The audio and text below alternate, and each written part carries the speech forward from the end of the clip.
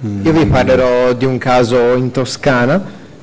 più nello specifico all'isola d'Elba, nella, nella località Il Piano. Se siete andati all'isola d'Elba attraccando Rio Marina è molto probabile, direi è sicuro che siate passati per questa strada in quanto è praticamente l'unica strada che collega il porto di Rio Marina dal resto dell'isola. È una, una, regione con una configurazione un po' particolare in quanto è fondamentalmente una conca circondata da dei rilievi di modesta entità che si chiudono eh, proprio all'imbocco della, della città di Rio Marina. Che questa zona fosse una zona interessata a fenomeni carsici lo sapevano già nell'età del rame, che, a cui infatti risalgono dei, dei, resti di un sito sepolcrale, evidentemente sto pensando all'intervento di stamani della dottoressa Nisio che ci faceva vedere appunto questa, questa corrispondenza tra archeologia e carsismo se vogliamo. Eh, però purtroppo accade che eh, ci scordiamo degli, delle caratteristiche del nostro territorio e ce ne ricordiamo solo improvvisamente quando queste ci vengono sbattute in faccia ed è il caso proprio delle, dei sinkhole di, di Rio Marina.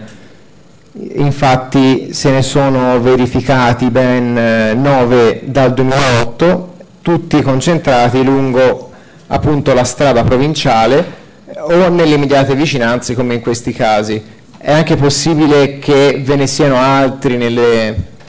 aree limitrofe, però o per... Eh, a causa dei, dei, lavori agricoli oppure magari a causa del fatto che nessuno è andato a controllare, diciamo questi non sono ancora stati individuati.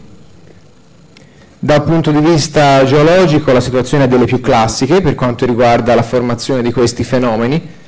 ovvero sia abbiamo, si vede meglio anche dalla sezione, abbiamo eh, la formazione del calcare cavernoso, quindi eh, dei calcari eh, intensamente carsificati, coperti da sedimenti eh, compattabili. E abbiamo alla, a sia est che ovest il cavernoso che confina con ehm, due formazioni poco permeabili che sono il Verrucano e la formazione di Cavo, il che fa sì che ehm, praticamente sia un unico grosso acquifero in cui ehm, l'acqua scorre da nord verso sud e che è anche una, una, zona interessante quindi dal punto di vista dello sfruttamento idrico, eh, tanto più che eh, vista la morfologia che dicevo prima è praticamente un collo di bottiglie che convoglia tutte le acque. Sono stati fatti anche dei sondaggi che hanno confermato questo quadro derivante dalla carta geologica e che hanno mostrato come vi sia uno spessore medio di 15-20 metri di depositi e in questo caso il sondaggio si è fermato non appena è stato raggiunto il, il cavernoso. Questi depositi possono essere molto spesso riempimenti eh, che sono andati a, a, riempire anche le cavità carsiche. Questo è uno schema così concettuale del tipo di fenomeno che eh, noi in, immaginiamo si verifichi in questa zona, ovvero sia abbiamo delle cavità preesistenti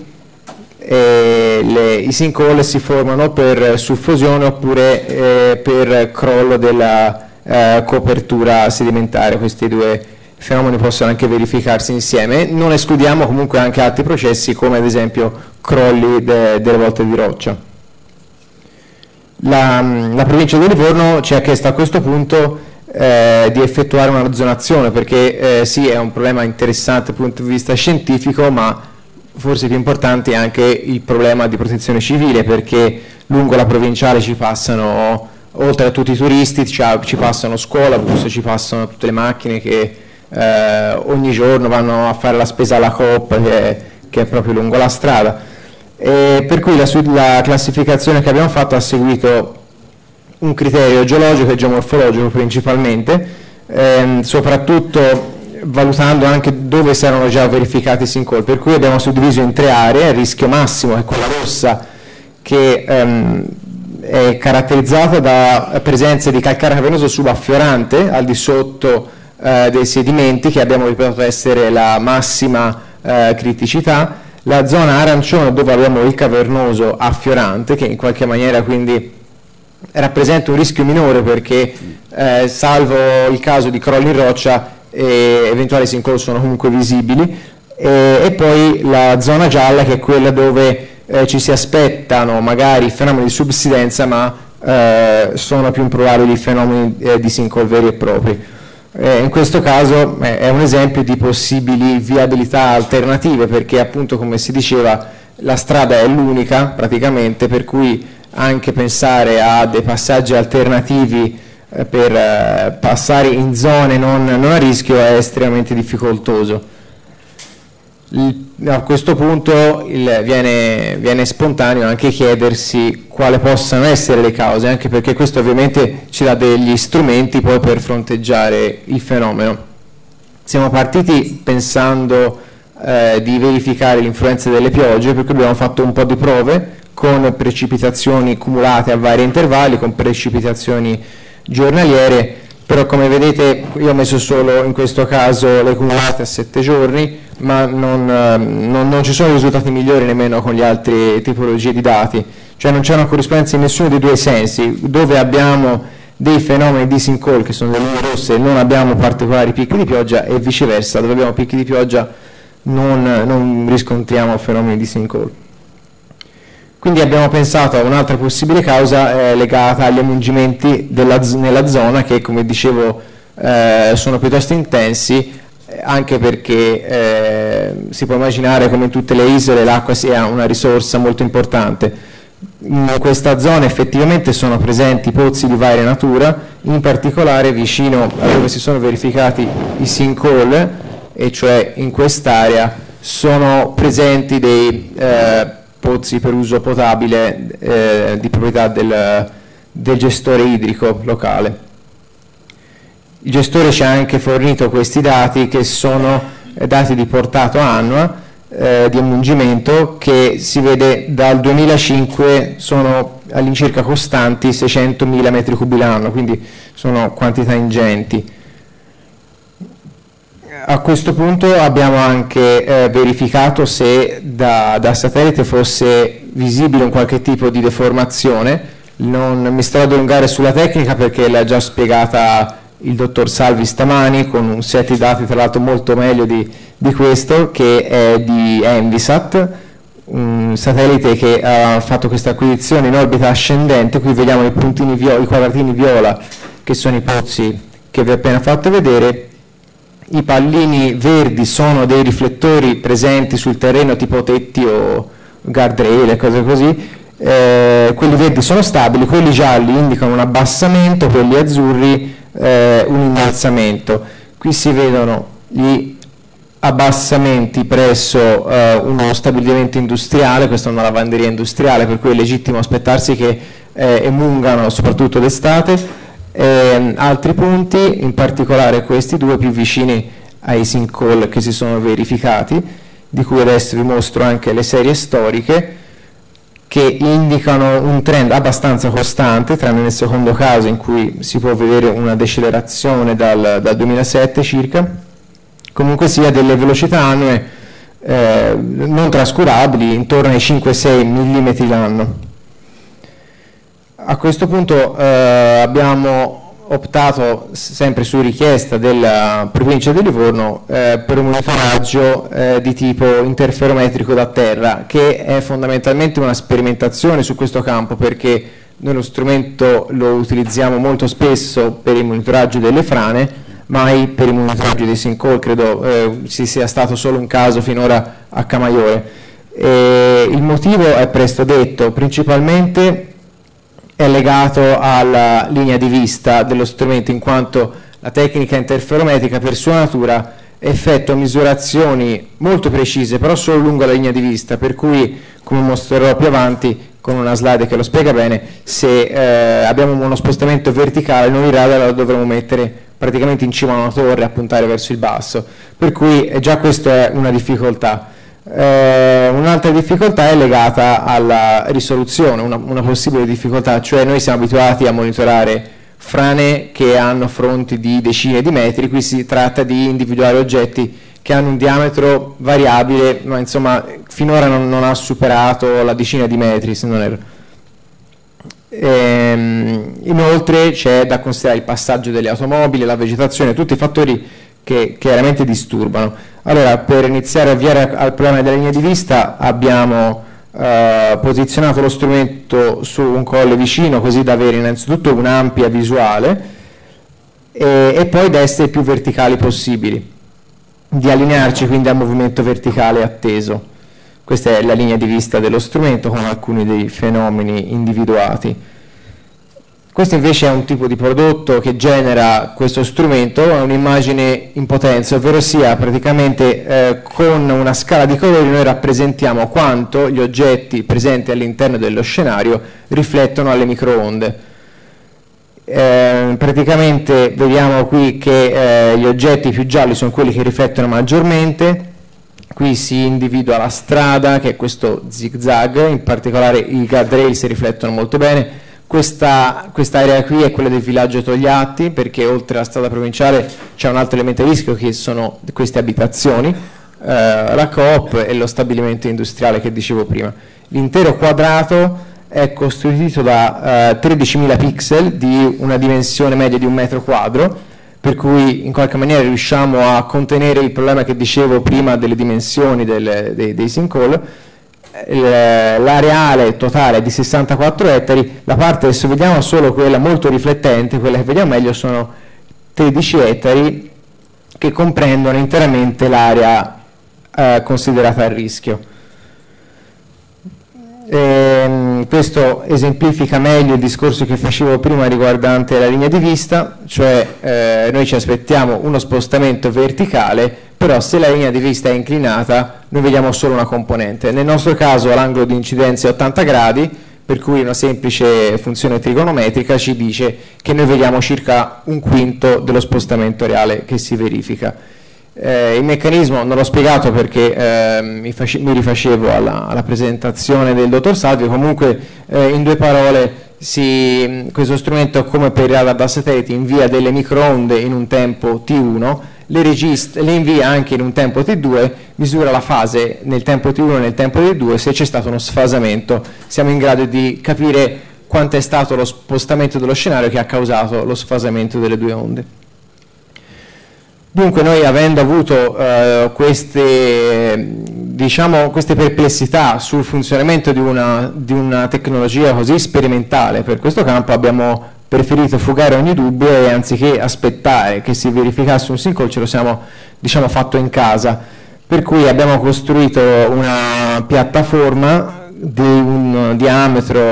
eh, realistico per i fenomeni che si verificano, l'abbiamo munita di eh, piedini come quelli delle impalcature in maniera tale da alzarla e abbassarla di, una, di uno, un valore di spostamento noto e poi verificare che cosa riuscivamo a vedere, se riuscivamo a vedere qualcosa. Per cui abbiamo fatto questi quattro passi di innalzamento e abbassamento, sapendo che ci saremmo dovuti aspettare un quinto dello spostamento. Eh, abbiamo anche provato varie superfici, asfalto, alluminio e terra, per vedere se c'erano anche differenze apprezzabili tra eh, punti sulla strada, punti sul campo, e, e, eccetera. Questo è il risultato che ehm, ci ha incoraggiati perché eh, vediamo questo è una, eh, lo spostamento cumulato nel tempo, vediamo che eh, queste due barre rosse segnano l'inizio e la fine del, dell'esperimento di sollevamento della piattaforma, in questo caso abbiamo effettuato, anzi scusate, l'abbassamento, eh, l'abbassamento con la piattaforma di alluminio eh, mentre noi l'abbassavamo di un valore noto, lo strumento effettivamente registrava l'abbassamento corrispondente. Questa zona piatta corrisponde alla pausa pranzo, questa corrisponde all'innalzamento effettuato quando abbiamo coperto eh, la piattaforma con, con l'asfalto. Eh, qui abbiamo armeggiato intorno alla piattaforma, quindi diciamo un po' di caos. Diciamo. Questo altro eh, valore corrisponde all'innalzamento con le piattaforme coperte a terra, poi abbiamo smantellato tutto e è rimasto il terreno così com'era perché poi partiva il traghetto. Eh, questo è uno zoom in particolare dei vari spostamenti, quindi l'abbassamento con l'innalzamento con asfalto e terreno. Chiaramente quando noi si abbassava lo strumento registrava un allontanamento perché essendo posto su una posizione sopraelevata era come se il terreno si, si allontanasse per lui. Uh, questo, diciamo, questo, risultato ci aveva incoraggiati, ci siamo scoraggiati subito quando poi abbiamo visto che eh, il 9 ottobre si era verificato un piccolo sinkhole e noi non avevamo visto assolutamente niente. Eh, praticamente questa a destra è un interferogramma, ovvero sia è una mappa di spostamento in cui ehm, ogni pixel corrisponde appunto a una cella di un metro per un metro circa, se è rosso indica uno spostamento assente, se è giallo indica un allontanamento quindi un abbassamento, viola un avvicinamento. Questi, queste macchie viola in questo caso però sono legate a disturbi atmosferici, per cui possiamo dire che questo interferogramma mostra una scena sostanzialmente stabile. Il fatto da considerare è che questo sprofondamento era veramente ai limiti della risoluzione spaziale e inoltre era proprio vicino a un muro di recinzione che ostruiva la visuale. Maggior fortuna l'abbiamo avuta il 25 novembre perché eh, abbiamo registrato eh, un, un, allontanamento, cioè un abbassamento di 3 mm e mezzo proprio sulla strada provinciale. Il dottor Gherarducci qui presente ha effettuato una, un sopralluogo il, eh, immediatamente di sera in maniera tale che le ombre potessero disegnare in qualche maniera eh, l'abbassamento che ha valutato essere pari a 2 cm che corrisponde proprio a 5 volte lo spostamento circa lo spostamento che avevamo visto con il radar per cui effettivamente c'è questa, questa coincidenza. Ehm, il 27 gennaio abbiamo verificato un altro evento, questa volta più intenso, queste due linee sono i guardrails della strada, la serie storica mostra una repentina accelerazione proprio in corrispondenza di questi punti, ehm, proprio qui sulla curva della strada provinciale abbiamo immediatamente emesso una nota di monitoraggio alla provincia di Livorno che eh, ha ha quindi ordinato che si facessero dei sondaggi, quindi fatto, sono stati fini effettuati dei fori, questi fori però non trovavano niente di solito, allora è stato deciso di fare una finestra, effettivamente si è visto che al di sotto della strada non c'era più niente, per cui la strada è stata immediatamente chiusa e quindi come dicevo prima siamo adesso nella fase in cui bisogna risolvere il problema della viabilità alternativa. In questo caso probabilmente l'asfalto fatto da membrana elastica, cioè non è crollato subito con il vuoto sotto, ci ha permesso di avere qualche, qualche giorno di anticipo perché ha iniziato a deformarsi e quindi noi siamo stati in grado di apprezzare lo spostamento. Per concludere questo deriva dal bollettino di monitoraggio odierno, ogni giorno facciamo un bollettino di, di monitoraggio eh, in cui eh, mostriamo la situazione, qui si vede l'inizio eh, diciamo, dell'emergenza quando abbiamo mandato, mandato la nota, ehm, qui poi a, a, voi decidere se è una coincidenza o meno corrisponde un'interruzione temporanea dei pompaggi de, effettuati dal gestore idrico e, e niente, per cui stiamo continuando attualmente il monitoraggio. Quindi in conclusione la, una rapidissima analisi del rischio così in maniera qualitativa. Eh, la pericolosità dell'area è sicuramente alta perché basti, basti vedere la frequenza dei, degli eventi e il fatto che comunque ci sono eh, fattori predisponenti eh, evidenti. Gli elementi a rischio sono importanti perché oltre a essere una strada molto trafficata ci sono anche delle abitazioni, la vulnerabilità è alta, basti pensare che la, la, la strada è stata chiusa, quindi è praticamente inagibile. Attualmente le, le, le soluzioni quali sono? Sono eh, un monitoraggio per il momento, per la fase perlomeno di emergenza, che comunque ci ha permesso già di prevedere un evento e quindi speriamo anche di eh, aver evitato il peggio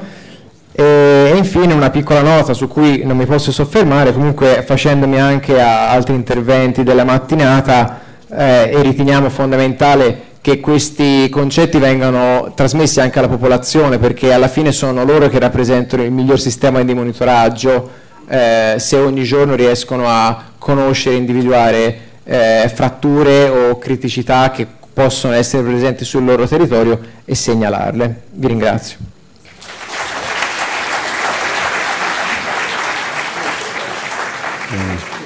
Allora, grazie per questo intervento che ha rappresentato una situazione che poi si verifica in tante parti del nostro territorio, cioè di situazioni che poi comportano disagio alla popolazione, perché questa è un'importante via di comunicazione per, per il comune di, per il, per il territorio dell'Elba, specialmente d'estate la situazione è, drammatica. E, in alcune situazioni eh, faccio presente che eh, si è deciso, per esempio, visto che avete usato questo sistema di monitoraggio da terra, no, che è più adatto per le frane, eh, in queste situazioni per esempio so dei casi che eh, con un semaforo eh, si bloccava il traffico se, se, se c'erano eh, massi, crolli di, di questo tipo. Capisco che il fenomeno è, è mh, ancora da, da, studiare, però ecco, volevo sapere se in passato ho visto la strada che è stata ricaricata più volte, se, se il fenomeno non sia avvenuto eh, più volte nel passato, se questo voi ne siete a conoscenza tramite l'amministrazione la, provinciale. Che il fenomeno sia avvenuto in passato sì è sicuro, in, in un caso Uh, ma anche nel, nel 2013 è, è, stata aperta completamente la strada, cioè praticamente un camion ha infilato una ruota in una buca che poche ore più tardi ha preso entrambe le carreggiate, allora fatto, sono stati fatti dei lavori di ripristino, è stato fatto praticamente un ponte interrato per in qualche maniera scaricare eh, le tensioni, sono stati fatti tanti lavori. Eh, il problema è che la zona è, è molto suscettibile, per cui eh, si va a mettere buchi su un groviera, non è, sì. non, non è facile sì. trovare una soluzione definitiva e per questo infatti eh, la provincia sta pensando a strade definitivamente alternative che non sono facili, perché lo spazio è quello che è e non, non, non ci sono tanti passaggi alternativi in realtà. D'altra parte all'inizio non si poteva prevedere questi, questi fenomeni anche se, se sull'isola d'Elba ci sono state altre segnalazioni, credo. Sì, sì, no, ma infatti come dicevo poi il sì. rischio è sempre che ci dimentichiamo poi in realtà di quali sono le criticità del territorio per sì. cui arriviamo a, a, costruire senza una consapevolezza che magari acquisiamo a nostre spese. Sì. C'è una domanda, credo. Eh, sì, prego. Buonasera. Parli vicino al microfono, è già aperto. Sono Michele Di Filippo e sono d'accordo con lui con l'educazione alla popolazione eh, ma anche della capacità del geologo di parlare con le persone. Da una parte sapere che magari da qualche mese a sta parte una finestra o una porta non si chiude o si chiude male, quello è un indizio. Ma più che altro su questo lavoro mh, io da una parte sui fattori geologici predisponenti, io penso che il calcare cavernoso lì sia un caso, appartiene alla successione e sta lì, ma più che altro quella zona fa da, ha fatto da trappola per i sedimenti e c'è poi un'accelerazione del flusso idraulico, eh, flusso idraulico dell'acqua che passa in quella valle strettissima. Quindi c'è un'erosione in subalveo che può aver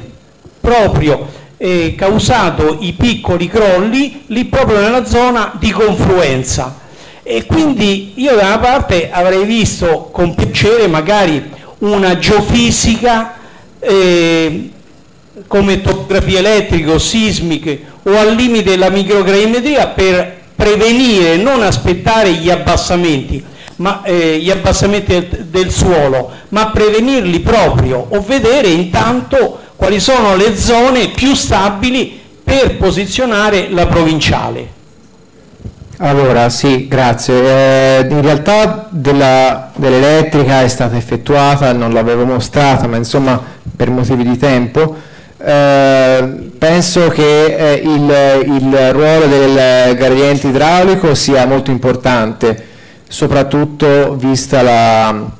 la presenza non credo casuale di un campo pozzi lì vicino eh, e come diceva però un relatore prima di me è necessario trovare anche uno sfogo per questi sedimenti, cioè per cui eh, in questo caso lo sfogo penso sia rappresentato proprio da, da queste cavità. Eh, il dottor Gherarducci della provincia di Livorno mi ha raccontato più volte di eh, riempimenti effettuati con massi di, di notevoli dimensioni che a distanza di mesi sono scomparsi perché appunto eh, trasportati a fiumi sotterranei, per cui diciamo eh, l'elemento carsico è, è, fondamentale, insomma. poi sicuramente è vero che esiste l'importanza dell'erosione eh, del,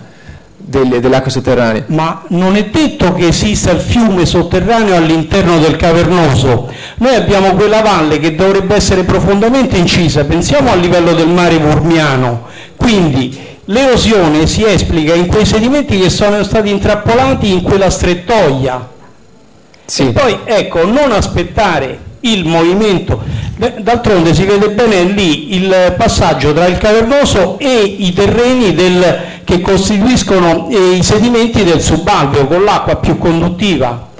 Quindi non aspettare l'abbassamento del suolo ma prevenirlo prima. Secondo, secondo noi motivo, il, diciamo, il modo principale per prevenirlo è, è limitare, eh, non per cambiare i fattori predisponenti, è quantomeno limitare quelli innescanti, che secondo noi sono principalmente i pompaggi in questo caso. Ora, questo schema eh, vuole un po' rappresentare quello che intendo dire, quando noi abbiamo una cavità preesistente e un pompaggio genera un gradiente idraulico molto forte, è naturale che eh, le frazioni più fini vengono risucchiate praticamente all'interno delle cavità. Diciamo, poi eh, si, può, si sono, può, discutere delle... Sì, sono d'accordo con lei, però valutiamo in la percentuale di Senti. acqua pompata e la percentuale Michele, di acqua Senti, che